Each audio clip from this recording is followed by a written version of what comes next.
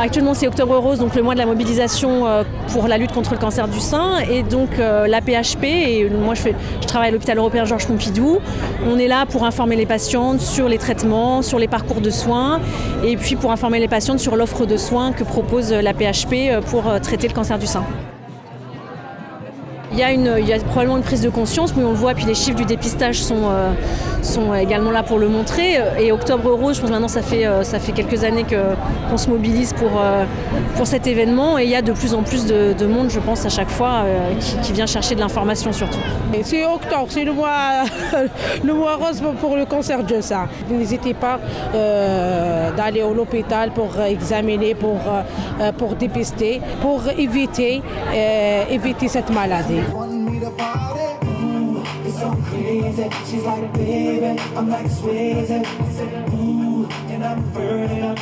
Il y a des questions sur euh, euh, ce qui fait peur un peu, hein, on va dire.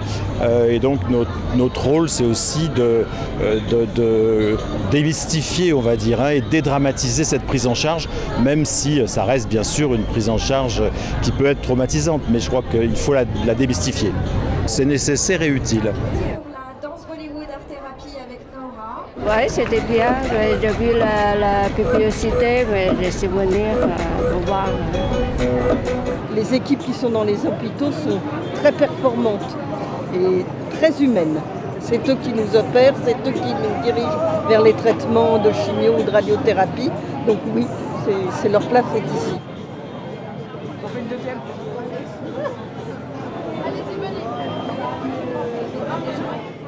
C'est une bonne chose parce que le cancer du sein est très peu connu.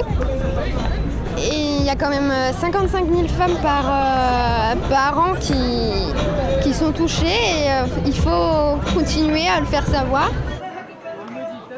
Je pense vraiment que c'est le rôle de l'hôpital, oui, de sensibiliser les femmes à leur maladie, quelle qu'elle soit, pour qu'elles n'appréhendent pas et qu'elles qu qu se fassent soigner en confiance et puis qu'elles osent en parler surtout. Voilà. Ça brise des tabous, ça brise euh, une certaine. Euh, on est replié sur soi-même et des, manifestations comme ça, je trouve que c'est bien. C'est de la vraie information qui parle. Parce que toutes les affiches, euh, tous les articles de journaux, on les lit pas nécessairement, mais là, je crois que ça parle vraiment. Parce que je suis sûre qu'il y a là des, des femmes qui n'auraient jamais abordé le sujet, qui vont venir voir ce qui se passe.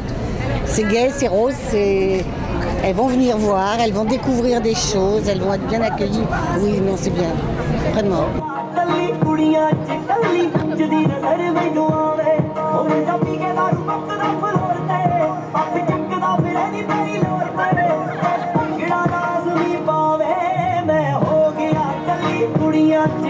ਨੱਚਦੀ ਨਜ਼ਰ